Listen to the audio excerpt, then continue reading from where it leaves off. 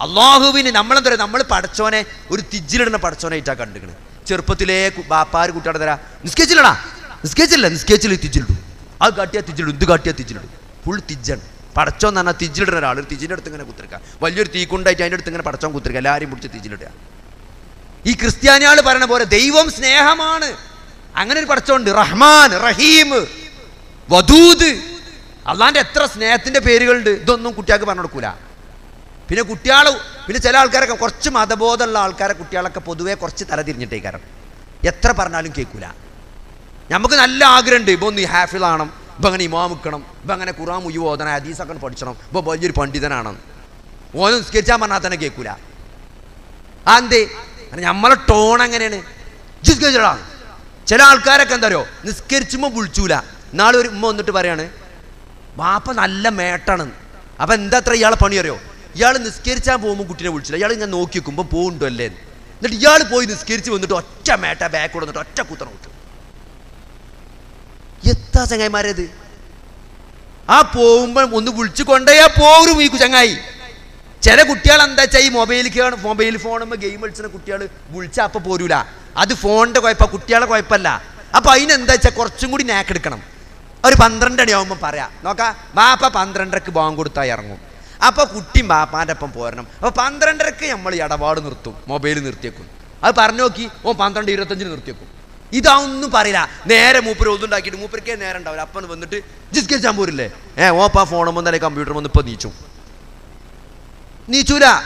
എന്നിട്ടോ? എന്നിട്ട് ഓ എത്ര ഓ എത്രയാലും നന്നാവൂല. ഏറെ ഏറ്റവും സൗമ്യമായിട്ട് ഉപദേശിക്കേണ്ട ആരെയാണ് മക്കളെയാണ്. ഏറ്റവും നല്ല ലാംഗ്വേജ് ഉപയോഗിക്കേണ്ടത് കുടുംബത്തോടാണ്. ആൾക്കാർ നേരെ തിരിച്ച. പുറത്തൊക്കെ ഭയങ്കര ഉസാറ കസ്റ്റമേഴ്സിനോടൊക്കെ പെരയിൽ വന്ന ഒരു ഒരു അലമ്പ് സ്വഭാവ. പരിക്കൻ സ്വഭാവം. ചോറെടുത്തച്ചില്ലേ? നിസ്കരിച്ചില്ലേ? നോമ്പ് വെച്ചില്ലേ തന്നെ ചോദിച്ചാണ് നിസ്കരിച്ചില്ലേ? നോമ്പ് വെച്ചില്ലേ അങ്ങനെ ആകുമ്പോൾ കുട്ടികൾ നന്നാവില്ല. പല ഞാൻ പല ആളുകളും ദീന് ഇപ്പോൾ കുറച്ച് ദീനുള്ള ആൾക്കാർ ഇപ്പോൾ ആദ്യമൊന്നും ദീനില്ലാതെ ഗൾഫിലൊക്കെ പോയി സി ഡി കേട്ട് വലിയ താടിയൊക്കെ വെച്ച് നെരിയാണ്ട് പേലെ പാന്റൊക്കെ ആയി വന്നുകൊണ്ട് പെണ്ണുങ്ങളൊക്കെ പറഞ്ഞടിപ്പിച്ച കുറേ ആൾക്കാരുണ്ട്. നല്ല തന്നെയാണ്. ഓല എന്താ വെച്ചാൽ ഓൽ മാറിയ മാറി മക്കളോട് മാറണം പെണ്ണുങ്ങൾ മാറണം അമ്മോസം മാറണം. ചില ആൾക്കാരൊന്നും അമ്മോസന്റെ പെരീക്ക് പോകില്ല എന്താ വെച്ചാൽ മൂപ്പരെന്താ വെച്ചാൽ ജായി അവിടെ ഫുള്ള് ബിർച്ചിർക്ക് ബിദത്ത് കുഫറ് ഓപ്പ കഴിഞ്ഞ മാസം നന്നായത് അപ്പോൾ നോ പോവില്ല. അപ്പൊ സഹോദരങ്ങളെ നമ്മൾ മാറിയ മാൽക്ക് ഓൽക്ക് മാങ്ങ മാറാണ്ട് ഒരു തൗഫീക്ക് വേണ്ടേ അപ്പൊ നമ്മളായിക്ക് കുറച്ചൊരു മയം വേണം നമ്മൾ കല്യാണത്തിന് പോവില്ല നമ്മൾ അവിടുത്തെ മുടിളീച്ചലിന് പോവില്ല.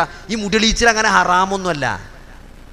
ആണെങ്കിൽ പോവുകയൊക്കെ ചെയ്യാം. പോയിട്ട് രണ്ട് തൊയ്തൊക്കെ പറയാൻ പറ്റുമെങ്കിൽ പറയാം. ചിലപ്പോൾ നമ്മളോട് ബഹു നമ്മളോട് ബഹുമാനമുള്ള ആൾക്കാർ. ഞങ്ങൾ എന്തായാലും വിശ്വാസിനോട് മനസ്സിൽ ഒരു അള്ളാഹു ചെറിയ ഒരു ഇത് ആൾക്കാർക്ക് ഇട്ടുകൊടുക്കും ഈ മാളോനിട്ട് നമ്മൾ പറയണേ കേൾക്കാൻ കുറച്ച് ആൾക്കാർ അവിടെ ഉണ്ടാവും.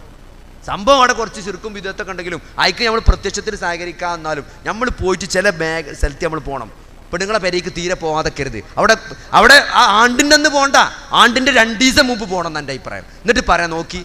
നമ്മൾ പറഞ്ഞാൽ മാറൂല മാറൂലെന്നറിയാം. അളിയൻ കട്ട ഏപ്പിന്റെ ആളാണ്. മുറിച്ച കാന്തപുരം എന്നാലും നമ്മൾ പോയി പറയണം.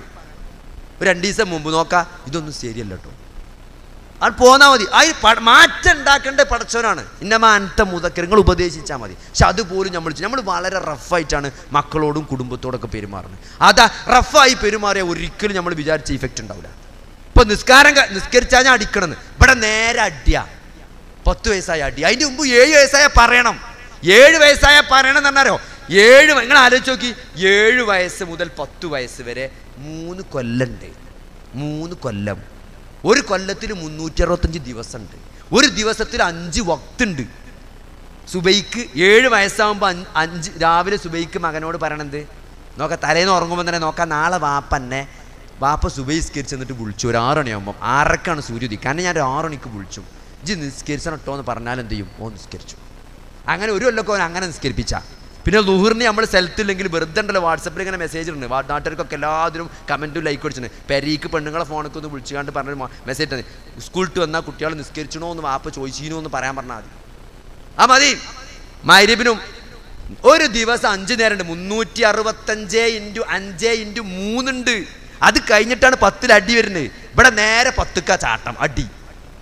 ഈ മൂന്ന് കൊല്ല അഞ്ച് ഒരു ദിവസം അഞ്ച് പ്രാവശ്യം. മൂന്ന് കൊല്ലം തുടർച്ചയായിട്ട് നമ്മളെ കുട്ടീനോട് മോനെ നിസ്കരിച്ച് നല്ലൊരു മാന്യമായിട്ട് നമുക്ക് നിസ്കരിച്ചണം കേട്ടോ എന്ന് പറയാം നിസ്കരിച്ചാ? നിസ്കരിച്ചാ? അങ്ങനെ അല്ലാതെ മാന്യമായി കുട്ടി നിസ്കരിച്ചതെന്ന് പറഞ്ഞാൽ നിസ്കരിച്ചാത്ത കുട്ടികളുണ്ടാവില്ല. ഞമ്മക്കും വേണ്ടെങ്കിലും കുട്ടി നിസ്കരിച്ചു. അതൊന്നും പറയില്ല. ഒക്കെ റഫായിട്ട് ലാംഗ്വേജ് റഫ് പെരുമാറ്റം റഫ് എന്നിട്ടോ? ഓ പറഞ്ഞാൽ കേൾക്കൂല എനിക്ക് നല്ല ആഗ്രഹമുണ്ട് ആഫിലാണോ എന്തോ ഓന്ന് അഫിലാണ് ഇജാതി കുരങ്ങ സ്വഭാവം ഇയാൾ ഈ കുട്ടി കാണുന്നത്. അള്ളാന്റെ റസൂലിന്റെ സ്വഭാവമാണ്. അള്ളാന്റെ റസൂലിന്റെ പ്രത്യേകത എന്താ? സ്വഭാവമാണ്. വിശ്വാസി എന്ന് പറഞ്ഞാൽ ഓന്റെ സ്വഭാവം വളരെ പ്രധാനമാണ്. കാരണം അതാണ് നമ്മൾ ഭയങ്കര രാത്രി നൊളോളിച്ച് ഒരു മണിക്ക് തുടങ്ങി നാലണിയാവോളം നൊളോളിച്ച് നിസ്കരിച്ച ആളാണെങ്കിലും ആൾക്കാർക്ക് അതിലൊന്നും കാര്യമില്ല. നമ്മൾ എന്താണ് ഡീലിങ്സ് എങ്ങനെയാണ് സംസാരിക്കണമെന്നാണ് ആൾക്കാർ നോക്കുക.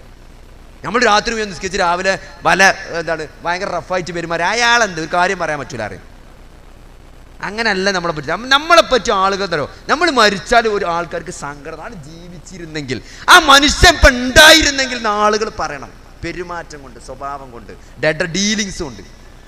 അങ്ങനെ ഒരു തലത്തിലേക്ക് വിശ്വാസി വരണമെങ്കിൽ തരോ പടച്ചോന്റെ ഒരു തൃപ്തിയാണ് വലുത്. അഞ്ച് പൈസ അല്ലാതെ കുടുങ്ങി ഇങ്ങനെ നിൽക്കുമ്പോഴും ഒരാൾ വന്ന് കഷ്ടപ്പാട് പറയുമ്പം തന്റെ കഷ്ടപ്പാട് മറന്നുകൊണ്ട് കൊടുക്കാൻ പറ്റുക എന്നുള്ളത് അവിടെയാണ് വിശ്വാസം. അതാണ് മാഷ അള്ളാ കൂവത്ത ഇല്ലാവില്ല അല്ലാതെ പതിനഞ്ച് പത്തറുപത് ലക്ഷം എഴുപത് ലക്ഷം ഒരു കോടി ഒന്നര കോടിക്ക് പെരയും വെച്ച് ഇനോവ തിരിച്ചാൽ വേണ്ടി ഒരു സെന്റ് പന്ത്രണ്ട് ലക്ഷത്തിന് വാങ്ങിയിട്ട് ആൾക്കാർ പെരണ്ടാക്കാൻ വേണ്ടി ചോദിക്കുമ്പോൾ രണ്ടായിരം കൊടുത്തിട്ട് ഞാൻ വലിയ ധർമ്മിഷ്ഠനാണ് എന്ന് അഹങ്കരിക്കുന്ന സഹോദരങ്ങളെ. അഹങ്കാരമാണ് ആ ഒരു നിലപാടിൽ നമ്മൾ മാറും അതൊക്കെയാണ് ഈ സൂറത്തുൽ കഫ് ഇങ്ങനെ എല്ലാ വെള്ളിയാഴ്ചയും പഠിപ്പിക്കുന്നത്. ജീവിതത്തിൽ എന്തൊക്കെ സംഭവിച്ചാലും ആര് ദേഷ്യപ്പെട്ടാലും നമ്മൾ വിചാരിച്ചാത്ത എന്തൊക്കെ ഉണ്ടായാലും അതൊക്കെ പടച്ചോ ഇങ്ങനെ നോക്കുകയാണ് ഇതൊക്കെ പടച്ചോ പണ്ട് കണക്കാക്കിയതാണ്. അപ്പൊ അതുകൊണ്ട് ഞാൻ എന്ത് നിലപാടാണ് സ്വീകരിക്കണതെന്ന് എന്റെ റബ്ബിനെ പരീക്ഷിക്കണ്. അപ്പൊ അതിന് ഞാൻ അങ്ങനെ സന്തോഷിച്ച് നിന്നാൽ പടച്ചോന്റെ തൃപ്തി ഉണ്ടാവും. അല്ലെങ്കിൽ ഉണ്ടാവില്ല അപ്പൊ ഈ ഒരു ഈ ഒരു മതത്തിന്റെ ഏറ്റവും വലിയ ഒരു ആനന്ദം സൗന്ദര്യം. ഇപ്പൊ സൊബിർ നമ്മൾ പറയും. സൊബുർ എന്തിലാണ്? സബുർ ഇങ്ങനെ പണ്ഡിതന്മാർ പറഞ്ഞോടത്തൊക്കെ കാണാൻ എന്താണ്? സബുർ എന്ന് പറഞ്ഞാൽ അലാ തോഴത്തില്ല അള്ളാഹുവിനെ അനുസരിക്കുന്നതിനാണ് ആദ്യത്തെ സബർ. രണ്ടാമത്തതോ വൻ മഅസിയത്തില്ല. മൂന്നാമത്തതോ? മൂന്നാമത്തതാണ് ഫിൽ അഖ്ദാരില്ലാഹിൽ മൂലിമ. അള്ളാഹുവിന്റെ വേദനാജനകമായ കതിറിൽ കതിറിൽ കാര്യങ്ങൾ സംഭവിക്കുമ്പോൾ ഉണ്ടാകുന്ന കതിറിലുള്ള സംഭവങ്ങൾ ക്ഷമിക്കാൻ കഴിയുക. നമ്മൾ മനസ്സിലാക്കിയ ക്ഷമ മൂന്നാമത്തെ ക്ഷമ മാത്രമാണ്.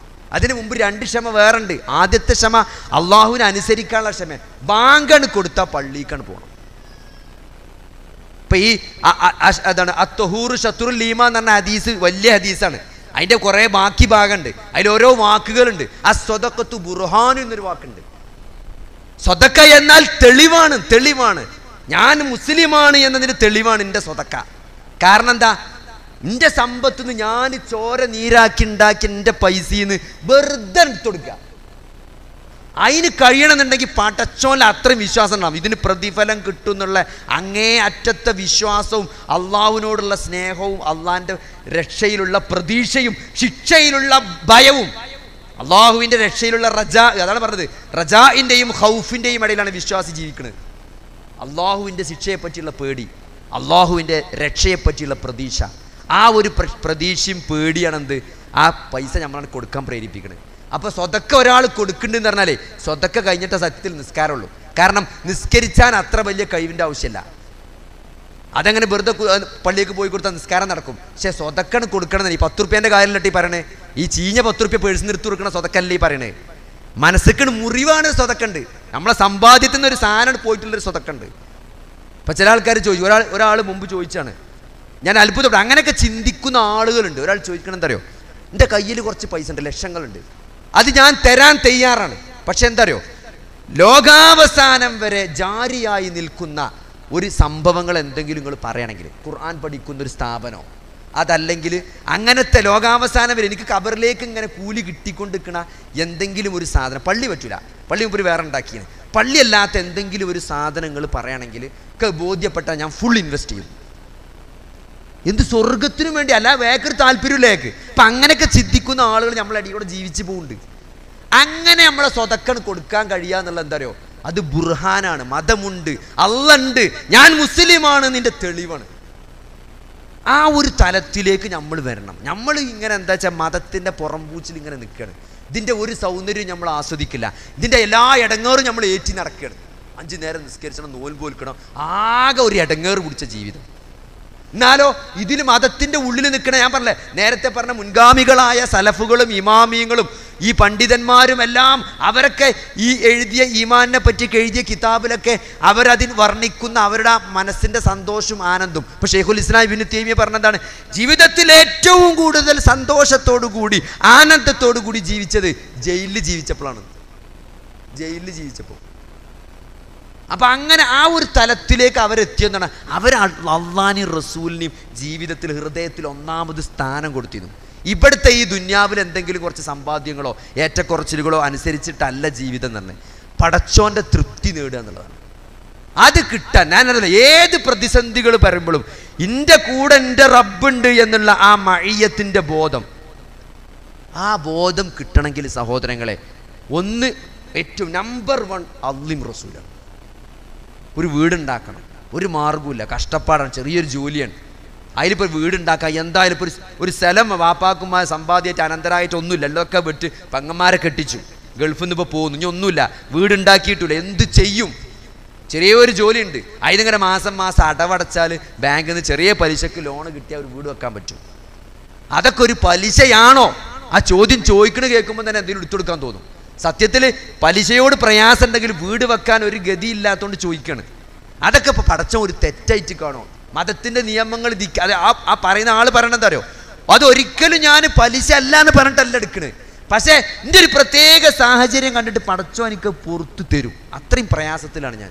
അങ്ങനെ പലിശ ലോൺ എടുക്കുന്ന ആളുകളുണ്ട് ബാങ്കിൽ നിന്ന് തെറ്റന്നെയാണ് എന്നാലും സഹോദരങ്ങൾ അത് തെറ്റാണെങ്കിലും ആ മനസ്സുണ്ടല്ലോ. ഏത്?